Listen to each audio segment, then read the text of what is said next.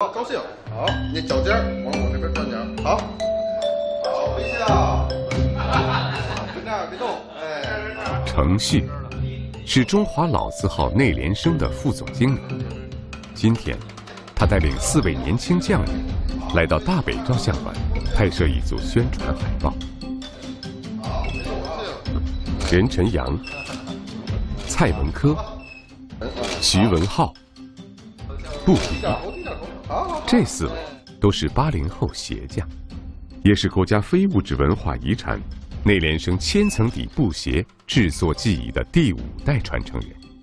他们成为内联升活跃而富有创造力的招牌形象。拍摄这组海报，我们希望把内联升新工匠、潮流工匠的这一面体现出来。内联升呢是百年老店，百年以前代表当时的时尚，我们现在也要回归时尚。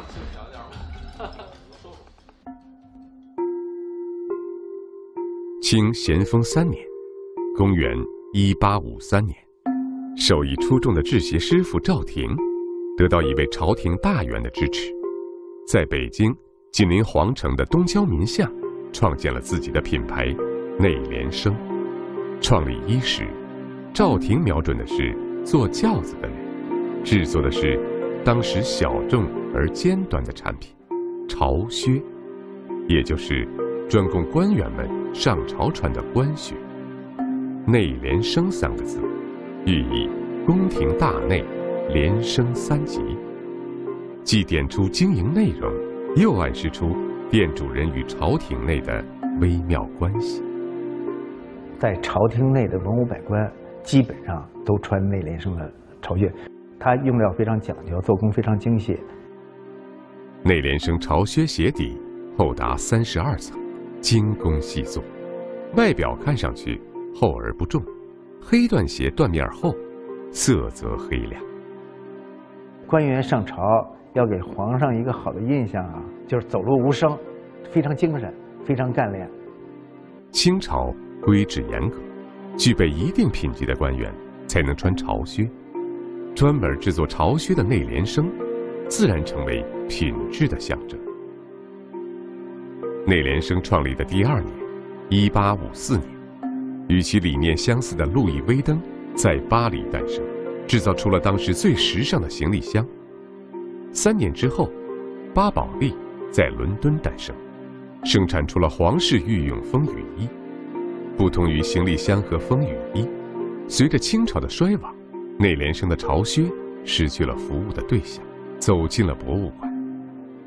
坐轿子的双脚变为大踏步的行走。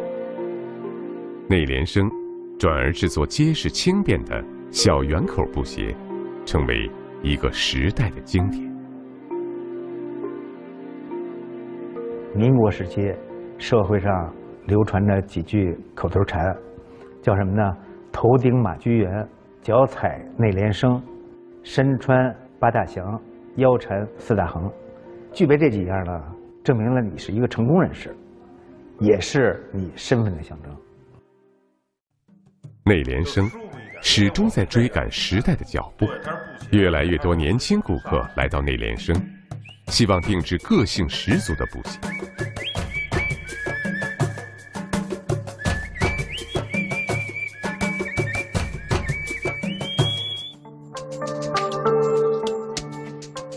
每逢周日，任晨阳和师弟们都会轮流来到位于前门大石栏的内联升总店，为顾客量脚定鞋。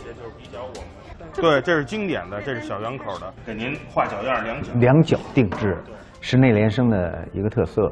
建店之初做这个潮靴，潮靴都需要量脚定制。这么多年，这个量脚定制始终是这么保持下来的。这是呃折尾，就是脚的最宽处。这个呢是夫尾，完了呢还有一个兜跟尾。陈岩和肖锦林都在国外留学，他们专程来到内联升，想要定制一双独一无二的布鞋。我是个音乐人，然后我最近在拍 MV，所以这次我想加一些我的个人的因呃元素进去。可以，没问题。我弟弟呢，他他打篮球，能不能把这个鞋能不能怎么跟篮球？啊，我给您推荐，就是这个款式在这面料上呢，可以啊多少号 logo 可以绣这上。我觉得这一半儿变成一个半个篮球，这边儿写一个，比如我的名字的姓啊，或者一个号码之类的。呃，你多大了？今年十四岁，哦，十四岁。对。哦，那你是我这两脚当中年龄最小。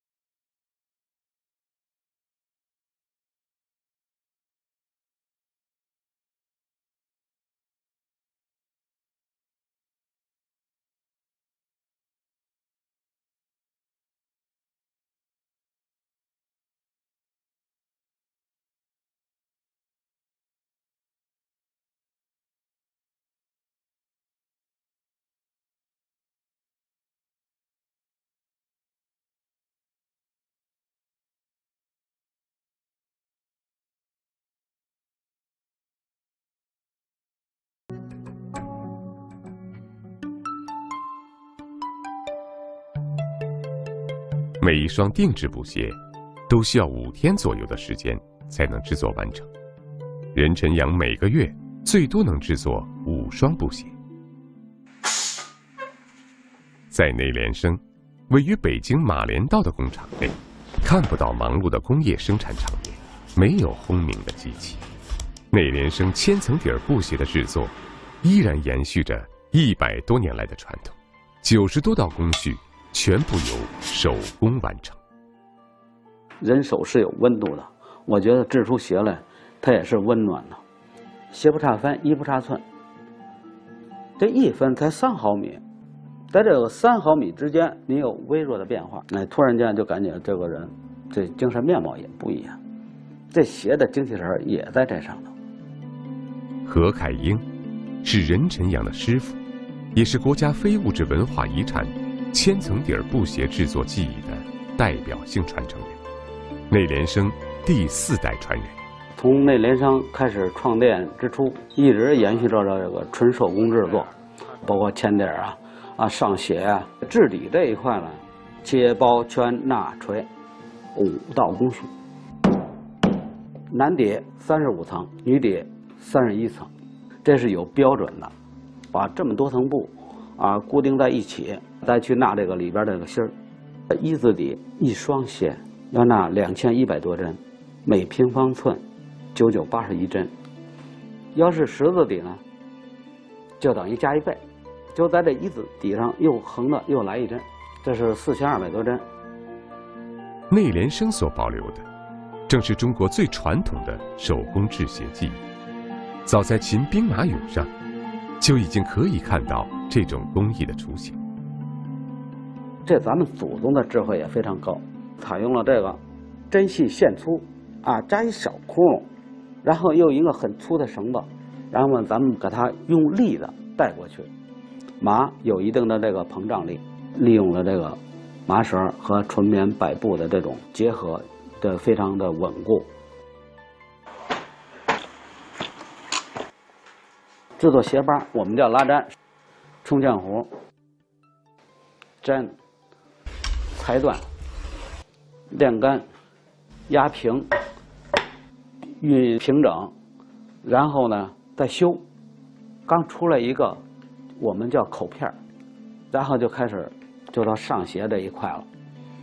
上鞋这一块很关键，咱们缝制鞋的时候吧，那就是一个劲头，这一双一定要从头至尾做完，才能保持这一双鞋带的完整性。如今。最重要的上鞋工作，何凯英师傅都交给了四个徒弟来完成。徒弟们也像师傅一样，在操作台前一坐就是两三个小时。每一双鞋都会对应一对鞋楦。内联升的制鞋机密，就蕴含在这些鞋楦的数据中。先做出鞋楦，再做鞋，因为这个鞋，您看做出完的鞋跟这个鞋楦是一模一样的。最小的像这种童鞋，这就是宝宝鞋。您别看它那鞋特别小，哎，也得有专门一款鞋楦。直尾、夫尾、兜跟尾，组成了一双鞋的三维数据。内联升制鞋工艺的精细与讲究，就体现在这些鞋楦中。经典的小圆口布鞋，上鞋工艺也最复杂。为了隐藏针脚，任晨阳需要先缝合鞋领，做成之后再反转过来，称为反上。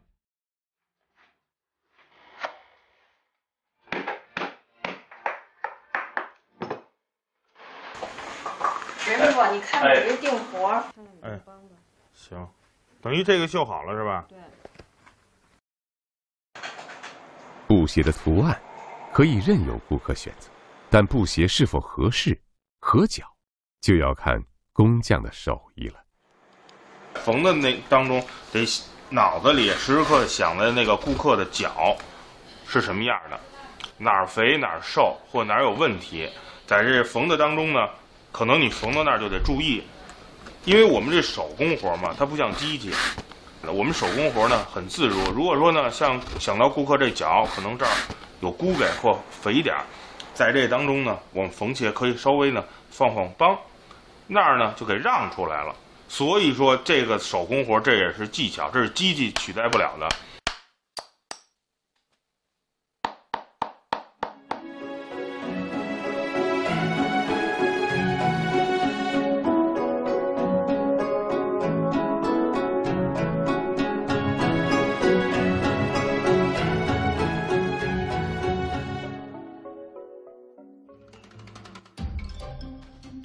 二零一八年八月，内联升把店铺开到了北京的三里屯儿，这个时尚活力的街区，迎来了第一家中华老字号。时代在变，人们追逐的时尚也在变，但不论何种身份与职业，每一双脚都需要一双熨帖的鞋来呵护。这份舒适温暖的体验，正是内联升。精工细作的美。